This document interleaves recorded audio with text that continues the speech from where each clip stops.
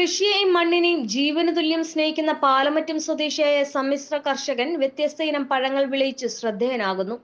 കൃഷിയോടുള്ള താല്പര്യം നിമിത്തം ചെറുപ്പം മുതലേ എനിക്ക് കൃഷിയോടൊരു താല്പര്യം ഉണ്ടായിരുന്നു. അത് നിമിത്തം ഒരു സ്വസ്ഥമായിട്ട് താമസിക്കാനും സ്വസ്ഥമായിട്ട് കൃഷി ചെയ്യാനുമുള്ള സൗകര്യം നോക്കി ഞാനിങ്ങനെ ഒന്ന് സ്ഥലം മേടിച്ചാണ്. വാട്ടർ ഫ്രണ്ടാണ് അപ്പോൾ വെള്ളത്തിന് ബുദ്ധിമുട്ടില്ല. കൃഷിയെ സംബന്ധിച്ച് ഏറ്റവും ആവശ്യം വെള്ളമാണല്ലോ. ഞാനിവിടെ വന്ന് ഇതിന്റെ റബ്ബറായിരുന്നു ഞാൻ വരുമ്പോൾ. ഞാൻ അതിന്റെ ഓൾമോസ്റ്റ് ഒരു പകുതി റബ്ബറോളം വെട്ടിക്കളഞ്ഞു. ഇത് എല്ലാം ഒന്ന് ആളുകൾക്ക് പരിചയ ഞാൻ വിപണന ഉദ്ദേശത്തല്ല ഇത് ചെയ്യുന്നത്. നമ്മുടെ സ്വന്തമായ ആവശ്യങ്ങൾക്കും നമ്മുടെ സുഹൃത്തുക്കൾക്കും എല്ലാം കൊടുക്കുമ്പോൾ റോളോണിയ കഴിഞ്ഞ വർഷം എനിക്കുണ്ടായി. ഈ പ്രാവശ്യം അത് ഇഷ്ടംപോലെ പഴുത്തിട്ടുണ്ട്. പാലമറ്റം ചീക്കോട് സ്വദേശിയായ റോയിയാണ് വിവിധയിനം ഫലവൃക്ഷങ്ങൾ വെച്ച് പിടിപ്പിച്ച് ശ്രദ്ധേയനാകുന്നത്.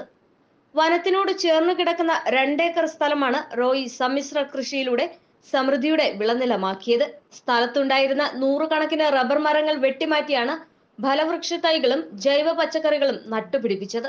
Rollinia miracle fruit abiu mangosteen തുടങ്ങിയവയും പ്ലാവ് മാവ് നാരകം വരെയുള്ള നിരവധി ഇനങ്ങളാണ് റോയ് തന്റെ പുരയിടത്തിൽ നട്ടുപരിപാലിക്കുന്നത്.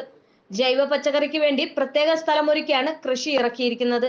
കോതമംഗലം ടൗണിനോട് ചേർന്ന് താമസിച്ചിരുന്ന റോയ് കൃഷിയോടുള്ള താല്പര്യം മൂലമാണ് ചീക്കോട് വനാതിർത്തിയിൽ സ്ഥലം വാങ്ങി താമസവും കൃഷിയും ആരംഭിച്ചത് ലൈറ്റ് ന്യൂസ് കോതമംഗലം.